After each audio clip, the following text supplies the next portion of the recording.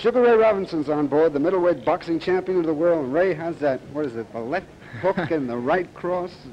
Something like that. How are they holding up? Well, pretty good, Jack. A little sore, but you know. Ray, when you get uh, about ready to do a fight, uh, how many hours of training a day do you do? well, it's uh, the whole day goes to training. In other words, from the time you get up in the morning, there's no canasta or gin rummy or bridge in the afternoon or anything like Oh that. Oh yes, uh, that's uh, that's all helps your mental attitude. You have things of that sort, but uh, you can't break training. No eating ice cream or doing anything like that. You shouldn't be doing. What happens to that mental attitude, Ray, when you get in the ring? Well- Every man for himself, then. That's right. Although I've heard that the best fighter and the best boxer in the world is the guy who has uh, a calm quality about him. Well, that's true too, because once you get away from that, you lose all sense of skill. Ray, you're going over, uh, I believe, to uh, France in connection with the Damon Runyon Cancer Fund. Would you tell us a little about it? Well, uh, I'm very happy to say that I am a member of the Runyon Cancer Committee, along one, of, with one of its most active members. is Walter Winchell. and uh, I am uh, taking over allocations amounting to $100,000, giving uh, amounts of $10,000 to each country. I'm going to uh, Norway, Switzerland, Ireland, Israel, Scotland, Rome, Italy, France, and, and Brussels.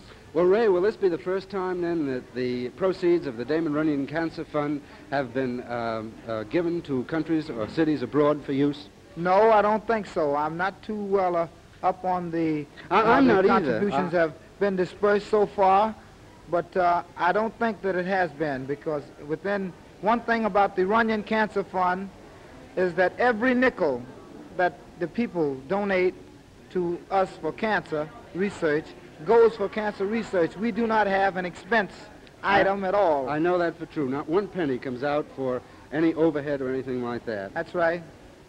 Well, Ray, uh, let's get away from uh, the Cancer Fund for the moment and get back to that sport of boxing and ask you who is the toughest guy you ever met so far. You know, I asked one uh, champion that, and he surprised me by telling me it was a guy that I never even heard of, a guy he met earlier in his career. Did you ever have that experience?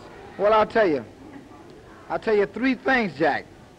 The toughest fight I had out of the ring was when my mother found out that I was fighting. Tell us about that. Come on now. Well, you know, my name not being uh, originally Robinson, my name really being Walker Smith, I changed my name, rather I borrowed a friend of mine's birth certificate, who was Ray Robinson, in order to obtain a boxing license. And uh, when I become of age, I'd hope to give him his birth certificate back and his name. And I started fighting as an amateur under the name of Ray Robinson. And thanks to God, I was very successful in popularizing his name, and I had to keep it. And, is he uh, using Smith today? no, no, no. and uh, for a long time, I sort of baffled my mother because of the different name. But one day, she looked in a paper and saw a picture of me, but it had Ray Robinson. And that's about the worst whipping I ever got. and I oh. think the, the toughest fight I had had up until the time I boxed LaMotta the last time was Fritz Zivic. But after that fight with LaMotta, if I tell anyone he wasn't the toughest man I've ever fought, they think I'm crazy.